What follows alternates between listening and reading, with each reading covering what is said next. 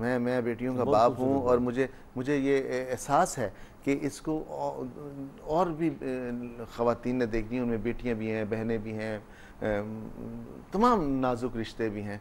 तो मुझे अगर उनको शर्म महसूस होगी तो फिर मुझे डूब बनना चाहिए फ़िल्म देखते हुए।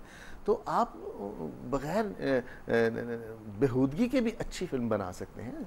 मैं वही बताया ना हमने बिल्कुल एक शायद इशू है फ़िल्म के ज़रिए हम जो कर सकते हैं मैं समझता हूँ आप भी समझता हूँ क्योंकि सोशल रिफॉर्म्स एजेंडा जो है हमारे मुआरे के बेशुमार हमारी रीजन जो हैं वो वो सोशल इवल्स हैं।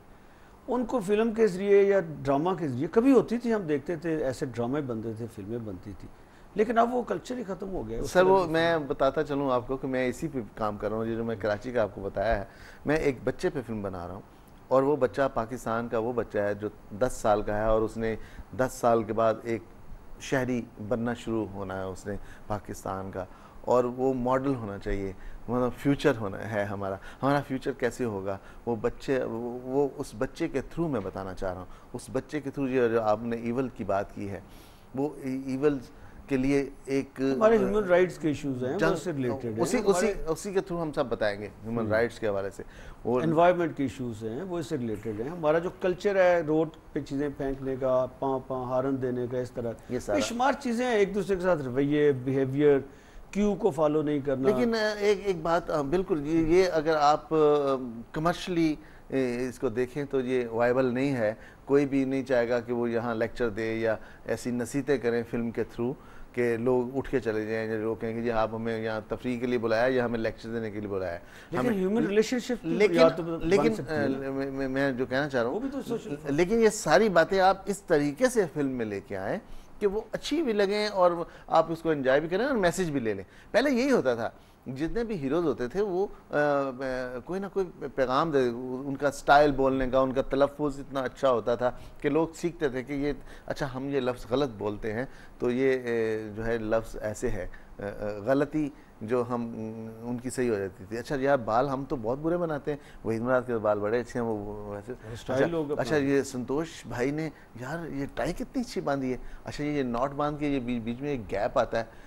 तो ये सारी एजुकेशन का एक हिस्सा है और जी बहुत शुक्रिया आपकी बातें माशाल्लाह बड़ी खूबसूरत हैं हाँ। और ये सवाल मेरे बड़े खूबसूरत जो रह गए हैं मैं आपसे बहुत सी चीज़ें पूछना चाहता हूँ मीठी मीठी ख़त्म हो गया टाइम जो है ना वो प्रोड्यूसर साहब कह रहे हैं जी कि देखिए यही यही खूबसूरती है प्रोग्राम की।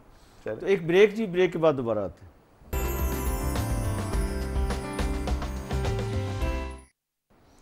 जी व्यूज़ वेलकम बैक व्यूज़ हर आदमी का कंसर्न जो है वो अपनी खूबसूरती अच्छा लगना, खूबसूरत नज़र आना दूसरों को, ये एक कॉमन फिनमिना पूरी दुनिया का। हर इंसान, औरत हो मर्द हो बच्चा हो बूढ़ा हो वो ये चाहता है कि दूसरों को वो भला लगे, दूसरों को अच्छा लगे, दूसरे उसको देखें तो प्लेजेंट फील करें।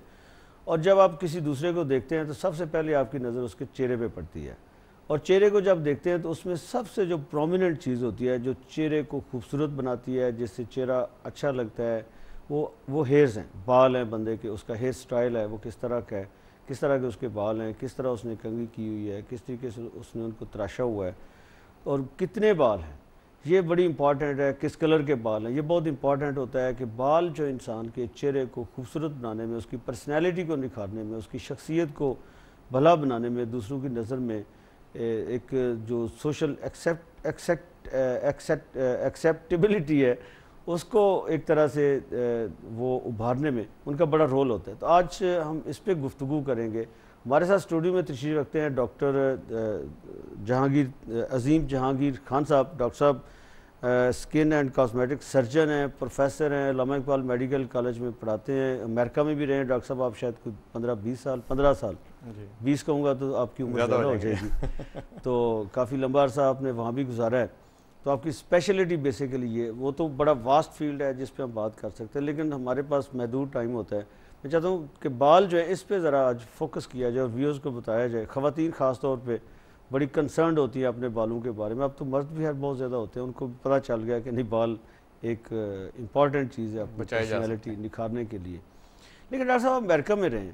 वहाँ पे तो ये बालों के ऊपर मर्द हजरात ख़ास तौर पर बहुत ज़्यादा फोकस नहीं करते। अमूमन ओबामा साहब को भी देखें तो उन्होंने छोटी छोटी वो टेंट तो नहीं होती, लेकिन बड़े छोटे छोटे बाल होते हैं। फिर भी वो बड़े खूबसूरत नज़र आते हैं। हमारे यहाँ बड़े मुख्तु तरह के हेयर स्टाइल चलते हैं। तो ये कोई कल्चरल इसमें डिफरेंस है या वाकई कोई क्या क्या रीज़न है इसकी? देखें कल्चरल डिफरेंस मैं आपको एक इंटरेस्टिंग बात से शुरू करता हूँ। वो ये है कि जब मैं पाकिस्तान नया नया आया तो कोई तीन चार, चार पाँच साल पहले तो सबसे पहला जो मेरा मरीज़ मैंने देखा उसने कहा कि डॉक्टर साहब उनको गोरा कर दें। वो ज़ाहिर है मेरे लिए थोड़ा सा शौक अच्छा, ये था कलर का उसको कलर का ये था कि कॉम्प्लेक्स था कि मुझे गोरा कर दें। फिर मैं वापस आ जा रहा था कुछ दिनों के लिए तो मैं कोई दो हफ़्ते के पास वापस गया तो वहाँ जो मेरा पहला मरीज़ मुझे मिला उसने कहा कि can a become little dark America में। अमेरिका में। अमेरिका में इधर जो है उसको कॉम्प्लेक्स है कि मैं गोरा हो जाऊँ। हाँ जी और उसको ये है कि मैं काला हो जाऊँ थोड़ा। सा डार्क हो जाऊँ। तो हमारी जो अल्लाह ने स्किन का जो कलर बनाया ज़्यादातर पाकिस्तानियों की वो बड़ा मॉडरेट बनाया दरमियाना बनाया विच इज़ आइडियल कलर है एक्चुअली तो ये कोई इंसान किसी हाल में खुश तो नहीं रहता लेकिन हर बहुत सारी स्टडीज़ जो हो चुकी हैं और साइंटिफिक स्टडीज़ हो चुकी हैं जिसमें आपकी अपेयरेंस जो है वो मैटर करती है चाहे आप उसको माने या ना माने इससे आपके रोज़गार का ताल्लुक है। जब आप कोई जॉब इंटरव्यू के लिए जाते हैं आप ही के पास अगर दो लोग आएँ एक अच्छा वेल ड्रेस्ड हो वेल बिहेव्ड हो लेकिन गुड लुकिंग भी हो तो उसकी एक्सेप्टेबिलिटी सोशल एक्सेप्टेबिलिटी जैसा आपने ज़िक्र किया वो डेफिनेटली ज़्यादा होती है चाहे हम उसे माने या ना माने। अब ये है कि मर्दों में बेसिकली दो जो आ, जो प्रोसीजर्स कह लें या दो चीज़ें जो हैं वो सबसे ज़्यादा डॉक्टर साहब एक कॉलर भी आ गया जी हमारे साथ। वो वो बात पहले कुछ। जी सलामकुम जी जी भट्ट साहब शुक्र अल्लाह का आप सुनाए। डॉक्टर साहब डॉक्टर अजीम जहांगीर साहब हाँ, हमारे साथ मैंने उनसे बात करनी है जी जी। जी जी। क्योंकि हेयर स्टाइल के हवाले से बात चल रही है आपकी। जी जी एक तो मैंने डॉक्टर साहब ये पूछना ये जो आर्टिफिशियल खूबसूरती होती है इसके दूरस्थ नतज जो मेरा ख्याल है वो अच्छे नहीं होते। दूसरा खातन के हवाले से मैं ये बात करना चाह रहा हूँ कि खातन अक्सर बालों को डाई करती हैं। जब डाई होती है तो उसमें यकीन वो केमिकल होते हैं। जब केमिकल लगे हुए तो उसका मैंने ये पूछना है इसका बिनाई पे कितना असर पड़ता है? जी जी। इसकी, इसकी वजह से बिनाई पे असर पड़ता है और बिनाई कम होती है। जी बार साहब थैंक यू वेरी मच जी आपके सवाल का जवाब लेते हैं। जी जी पहली तो ये बात कि उन्होंने कहा कि जी जो खूबसूरती खूबसूरत लगने के लिए जो ट्रीटमेंट्स कराए जाते हैं उनके दूर रस असरात कोई मुजर असरात तो नहीं है। तो शॉर्ट आंसर ये कि नहीं है।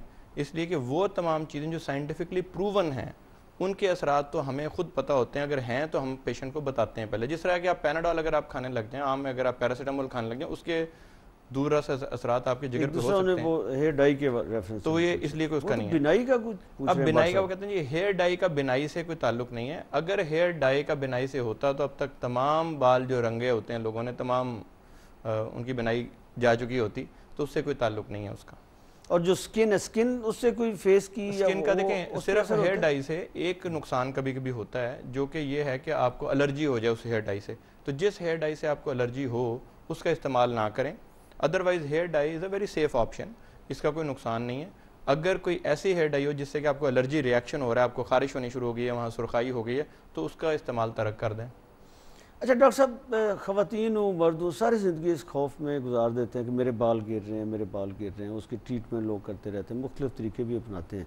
तो ये बाल गिरने का फिनमना क्या है एक्चुअली देखिए जी दो चीज़ें हैं। मर्दों में कोई एटी नाइन्टी परसेंट जो बाल गिरते हैं वो गिरते हैं उनके मरूसी इसबाब की वजह से विच मीन्स कि अगर उनके माँ बाप की साइड पे हम्म। अगर उनके गंजापन है जिसे हम मेल पैटर्न बॉल्डनेस कहते हैं मरूसी गंजापन कहते हैं अगर वो है तो उनको जेनेटिकली उनके वो बाल जो कि सर के ऊपर हैं वो गिरेंगे साइडों वाले बच जाते हैं।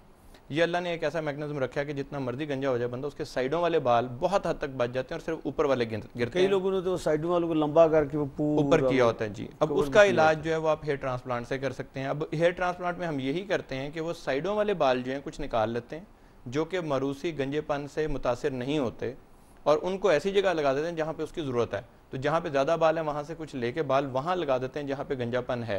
वो सर पे भी हो सकता है, वो ऐसी किसी स्कार में भी हो सकता है कि एक्सीडेंट के बाद कोई स्कार हुआ और उसमें आपने देखा होगा अगर दाढ़ी पूरी और अगर एक जगह पे बाल नहीं है तो स्कार ज़्यादा दिखाई देता है तो वहाँ लगा देते हैं। औरतों में जो गंजापन की वजूहत हैं, वो बिल्कुल मुख्तलिफ़ हैं। उनमें आम तौर पे जो गंजापन होता है, या तो होता है बच्चे की पैदाइश के बाद या किसी मेजर सर्जरी के बाद, उसके स्ट्रेस से ख़ास किस्म का गंजापन होता है, जिसको टीलोजन फ्लूवियम बोलते हैं साइंसी ज़ुबान में। तो वो आपके जो बाल हैं थोड़े अरसे के लिए रस्टिंग फ़ेज़ में चले जाते हैं आपके, और उसके बाद दोबारा ग्रो करना शुरू कर देते हैं तो उसमें कोई घबराने की बात नहीं है।